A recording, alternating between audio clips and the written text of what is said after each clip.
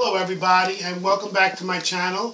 I hope that everyone is staying safe and sound in this pandemic and I hope that everyone is ready to learn something new. But first, if you like what you see, give me a big thumbs up. It really helps with the YouTube algorithm.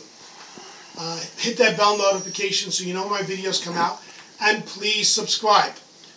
Help me to get more subscribers so that I know what I'm doing is helping everyone out. So today my wife decided to make chop japchae. So let me explain what japchae is. I will show you the noodles. This is japchae. They are Korean noodles. Okay, they are similar to lo mein in Chinese and pancit in the Philippines. So basically the concept is the same. Okay, it's just the name is different. Okay, so what what this is over here, if you come over here and you check this out over here, this is the Salad Master pot that we were using to make the japchae. If you're interested in the Salad Master pot, comment later and I will talk to someone who can help you get a Salad Master pot.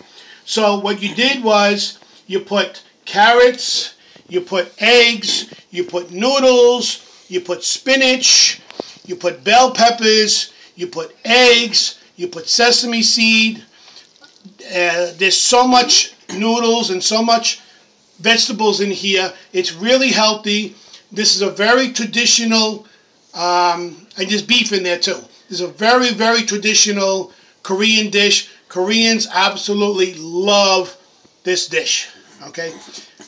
So if you're interested in learning how to make this, you know, give me a comment and I will send you the recipe so you can learn how to make this. Especially if you have any Korean friends or even if you're not Korean. Many people love this. It's noodles. Okay. Again, if you like what you see, give me a big thumbs up. Hit that bell notification and please subscribe. And I will end this with a final word. Mani Mugo, which means eat healthy in Korean. I thank you and I will see you tomorrow.